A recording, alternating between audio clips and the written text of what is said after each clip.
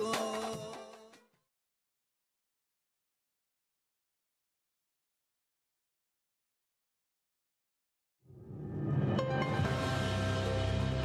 الوطن وطن الاقتصادية نشرة إخبارية يومية من الأحد حتى الخميس الساعة الرابعة حتى الرابعة والنصف. على شبكة وطن الإعلامية نتابع آخر وأهم ملفات الشأن الاقتصادي مع تحليلات اقتصادية وانعكاساتها على حياة المواطن الاجتماعية والمعيشية. هذه النشرة برعاية شركة سند. سند. استدامة تطوير بناء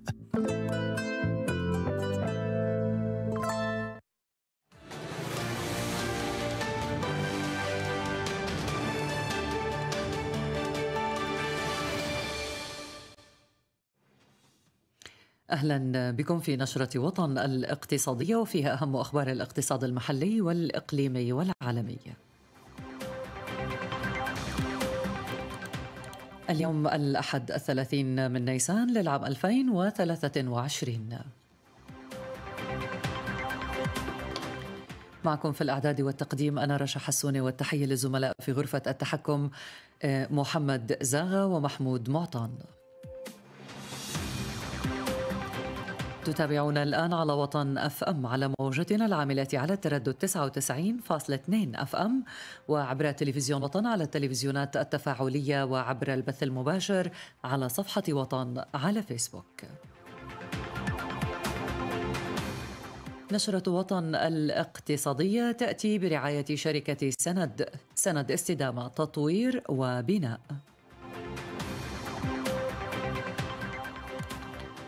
ومباشرة إلى العناوين. في ورقتنا الأولى انخفاض أسعار المنتج خلال آذار الماضي.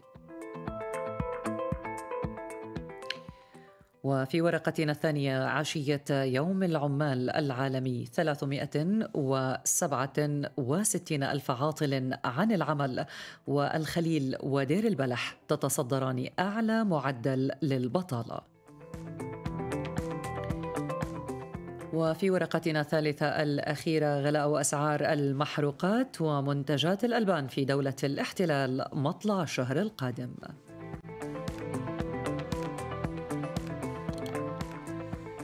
من العناوين ننتقل إلى التفاصيل متابعينا الكرام. وفي تفاصيل ورقتنا الأولى سجل الرقم القياسي العام لأسعار المنتج انخفاضا طفيفا. قدر بصفر صفر فاصلة 18% خلال شهر آذار آه، الماضي مقارنة مع شهر شباط من آه، العام الجاري حيث بلغ الرقم القياسي العام 108.25 خلال شهر آذار مقارنة ب 108.45 خلال شهر شباط.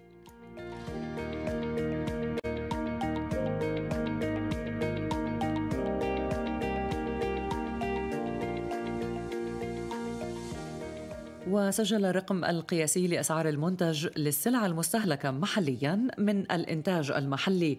آه، الوطني الفلسطيني انخفاضا أيضا طفيفا قدر عشرين بالمئة حيث بلغ الرقم القياسي لأسعار المنتج للسلع المستهلكة محليا 108.11 نقطة خلال شهر آذار مقارنة ب 108.33 نقطة خلال شهر شباط.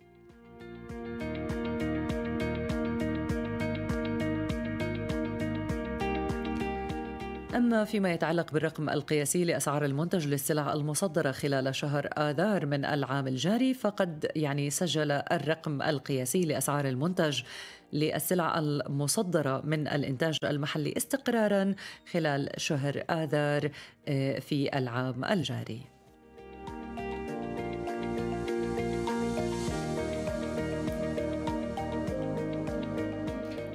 ننتقل الآن إلى حركة أسعار المنتج ضمن الأنشطة الرئيسية خلال أذار الماضي ونشير إلى أن أسعار إمدادات الكهرباء والغاز والبخار وتكييف الهواء سجلت انخفاضا قدر ب 2.15% وتشكل أهميتها النسبية 8.23% من منتج من المنتج القومي.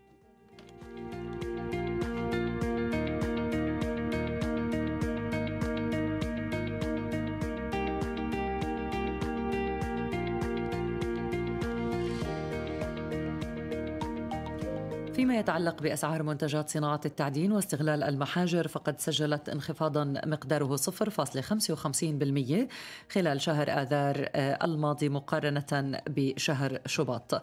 أيضا سجلت أسعار السلع المنتجة من نشاط الزراعة والحراجة والصيد الأسماك. انخفاضا طفيفا قدر ب 0.15% وتشكل أهميتها النسبية 29% تقريبا آه، تقريبا 30% تشكل أهميتها النسبية من سلة المنتج الوطني.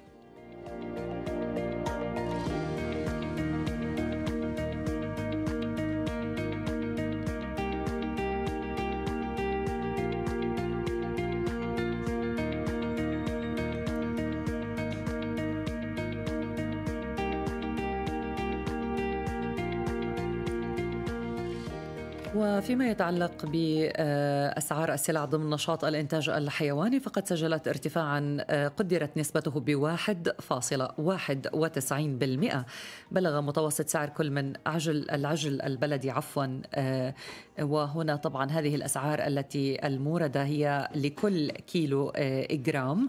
عجل بلدي 17.29 17 شيكل و29 أجورا الخروف البلدي 31 شيكل و21 أجورا الماعز البلدي 33 شيكل و68 أجورا للكيلو جرام الواحد. على الرغم من انخفاض متوسط سعر كل من البيض الطازج والدجاج اللاحم آه، أيضاً.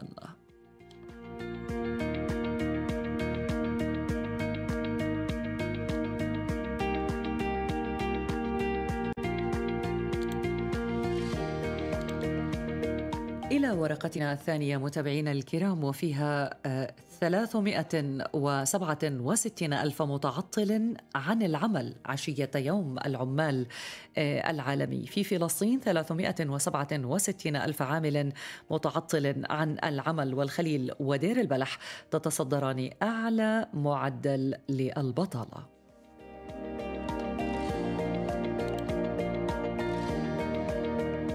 وفي حقيقة أيضا آه، متعلقة بواقع العمل وواقع العمال في فلسطين عشية يوم العمال الفلسطيني. آه، نذكر بأن أكثر من مليون عامل في فلسطين ويعملون في فلسطين والقطاع الخاص هو المشغل الأكبر.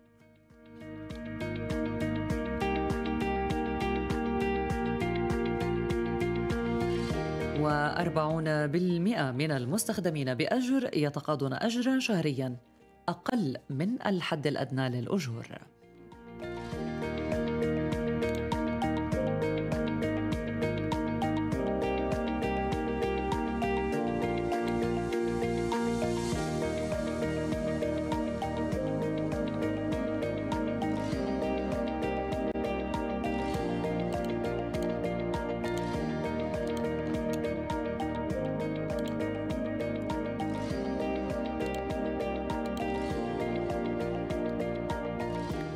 في تفاصيل آه، هذه العناوين الرئيسية. قال الجهاز المركزي للإحصاء أن عدد العاملين في فلسطين بلغ مليون ومئة وثلاثة وثلاثين ألف عامل. بواقع 655 ألف عامل في الضفة الغربية و285 ألف عامل في قطاع غزة و193 ألف عامل يعملون في الداخل المحتل.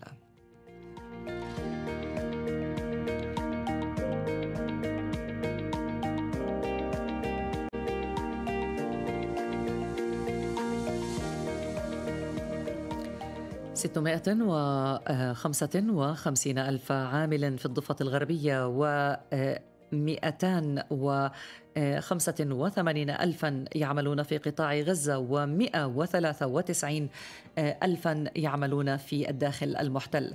حول الواقع العمالي في فلسطين نتحدث متابعينا الكرام وفقا لتقرير صدر عن الجهاز المركزي للإحصاء الفلسطيني اليوم. أصدره لمناسبة اليوم العالمي للعمال ويصادف الأول من أيار في كل عام. وأوضح التقرير بأن عدد المتعطلين عن العمل انخفض انخفض إلى 367 ألفا في العام الماضي مقارنة ب 372 ألفا في العام الذي سبقه العام 2021 كما انخفض معدل البطالة بين الأفراد المشاركين في القوى العاملة في فلسطين في العام 2022 إلى حوالي 24% مقارنة مع حوالي 26% في العام الذي سبقه وذلك نتيجة لارتفاع نسبة المشاركة في القوى العاملة إذ بلغت آه، حوالي 45% مقارنة بحوالي 43% للعام 2021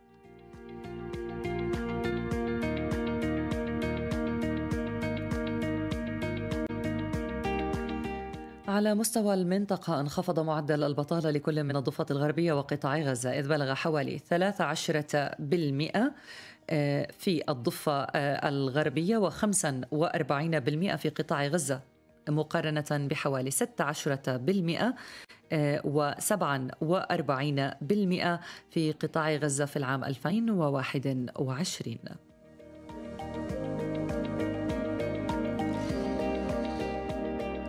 التوضيح متابعينا الكرام نشير آه، يعني آه، كما الآتي في العام 2022 آه، تم تسجيل انخفاض على معدل البطالة. المتتبع للنتيجة المتتبع للمؤشر سيجد بأنه انخفاض طفيف وليس انخفاض ملموس عمليا على معدلات البطالة في كل من الضفة الغربية وقطاع غزة. نشير إلى الآتي في الضفة الغربية في سنة 22 آه، انخفض معدل البطالة سجل 13% كان قد سجل 16% في سنة 21 في قطاع غزة في العام الماضي آه، سجل 45% وكان قد سجل 47% في سنة 21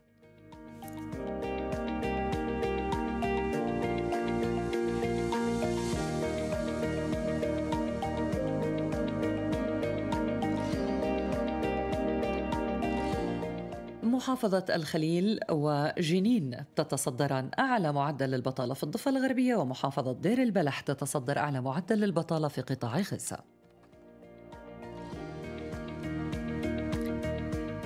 التفاصيل سجلت محافظتي الخليل وجنين في الضفة الغربية أعلى معدل البطالة لعام 2022 إذ بلغ حوالي 17% تلتهما محافظة بيت لحم بحوالي 15% بينما كان أدنى معدل للبطالة في الضفة الغربية في محافظة القدس وبلغ حوالي 3% بالانتقال إلى قطاع غزة سجلت محافظة دير البلح المعدل الأعلى للبطالة بحوالي 55% تلتها محافظة خان يونس بحوالي 49% بينما كان أدنى معدل للبطالة في محافظة آه، شمال آه، غزة وجاء على آه، حوالي 38%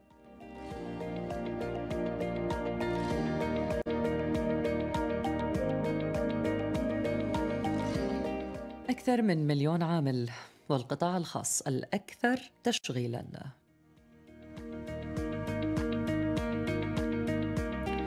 في تفاصيل هذا العنوان متابعينا الكرام نشير إلى أن عدد العاملين في فلسطين كليا بلغ مليون ومائة وثلاثة وثلاثين ألف عامل بواقع 655 ألفا في الضفة 285 ألفا في غزة و193 ألفا في الداخل المحتل وفي المستوطنات أيضا.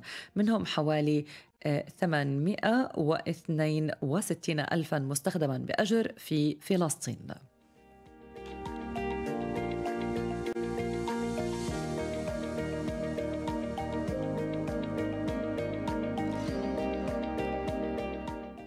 وفقا للتقرير الصادر عن جهاز الإحصاء المركزي فإن حوالي 54% من مجموع المستخدمين بأجر في فلسطين يعملون في القطاع الخاص بمعنى أن القطاع الخاص هو المشغل الأكبر للعمال في فلسطين.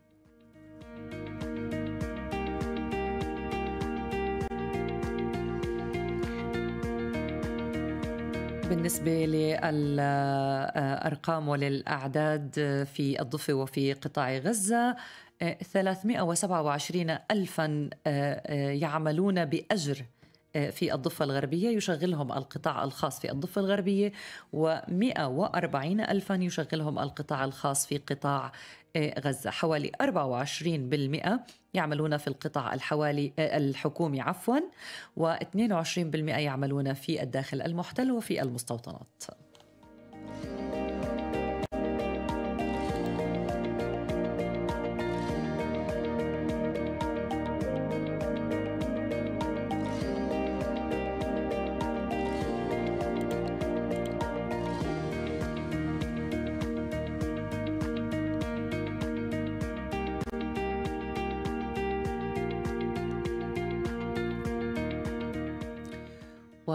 بالمئة من المستخدمين بأجر يتقاضون أجرا شهريا أقل من الحد الأدنى.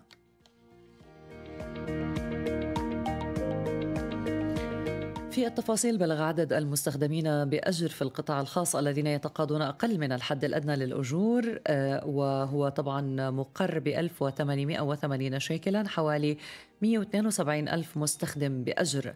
مستخدم بأجر منهم 65 ألفا في الضفة الغربية ويمثلون حوالي 19% من إجمالي المستخدمين بأجر في القطاع الخاص الضفة الغربية وبمعدل أجر شهري 1421 شيكل مقابل 116 ألف مستخدم بأجر في قطاع غزة يمثلون حوالي 89% من إجمالي المستخدمين بأجر في القطاع الخاص في غزة بمعدل أجر شهري لا يتجاوز 697 شيكل.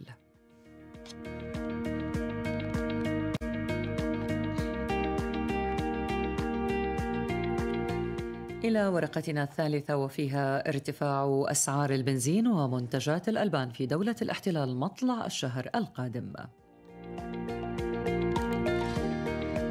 في التفاصيل ذكرت وسائل إعلام عبرية أن أسعار منتجات الألبان سترتفع بنسبة 16% وسعر لتر البنزين بحوالي 40 أغورا آه، في مطلع آه، الشهر القادم ويصادف غدا الاثنين في حال عدم توقيع وزير مالية الاحتلال على مرسوم لخفض ضريبة البلو التي تفرض على المحروقات حتى نهاية الشهر الجاري. بالنسبة لسعر لتر البنزين 95 أوكتان يبلغ حاليا 6 شيكل و81 أجورا سيرتفع إلى 7 شيكل و23 أجورا في حال عدم توقيع وزير مالية الاحتلال على مرسوم لتخفيض ضريبة البلو.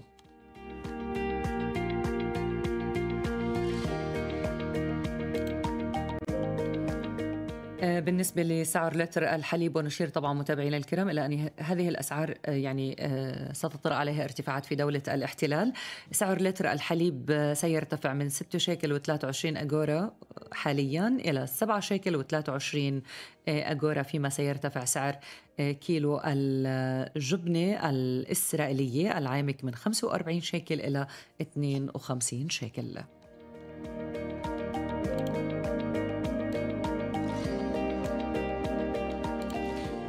في آه، سياق هذه الارتفاعات متابعينا الكرام. نشير إلى أن وزير مالية الاحتلال كان قد وقع في نهاية الشهر الماضي آه، على مرسوم لتخفيض ضريبة البلو ب 43 اجورا للتر البنزين الواحد ويسري لشهر واحد فقط. إلى جانب تخفيض آه، اللتر ب 13 اجورا ولذلك لم يرتفع سعر البنزين بداية شهر نيسان الجاري. ولذلك أيضا سيكون الدعم الحكومي من طرف حكومة الاحتلال للتر البنزين ب 13 أجورا في حال عدم تخفيض ضريبة البلو.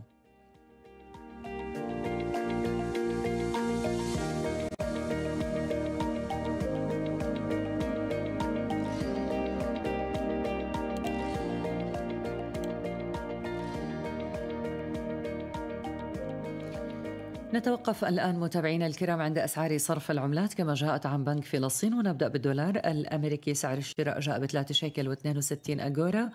سعر البيع جاء مماثلا ب 3 شيكل و62 أجورا. إلى الدينار الأردني سعر الشراء 5 شيكل و10 أجورات وسعر البيع جاء ب 5 شيكل و12 أجورا. ثم إلى اليورو الأوروبي سعر الشراء 3 شيكل و99 أجورا. سعر البيع جاء بفارق أجورا واحدة جاء بأربعة شواقل. ونختم أخيرا بالجنيه المصري مقابل الشيكل الإسرائيلي. سعر الشراء كما سعر البيع تقريبا جاء ب 12 أجورا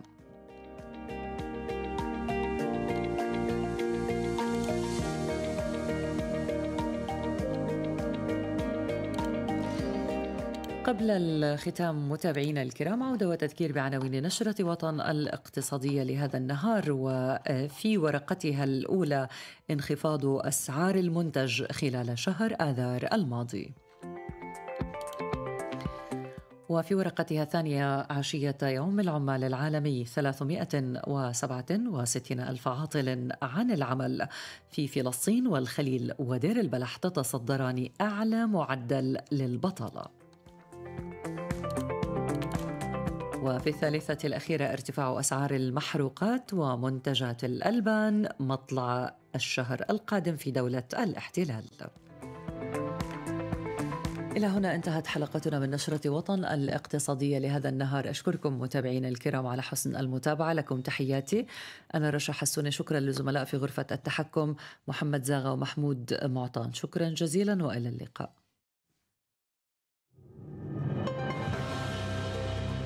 وطن الاقتصادية.